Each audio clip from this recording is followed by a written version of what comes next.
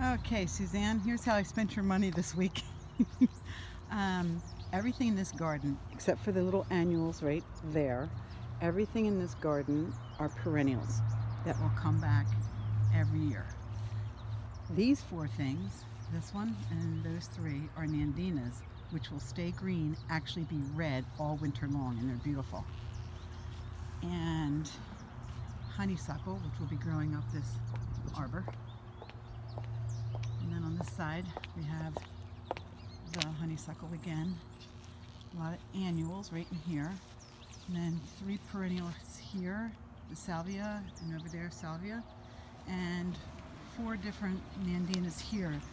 Uh, the one, this one matches the one on the other side, which is a heavenly bamboo, which gets beautiful red berries at Christmas time. And these, I've never had these before. They're Nandina's Gold Rush. So they stay small, but anyway, we're ready for uh, mulch and this should be a beautiful garden.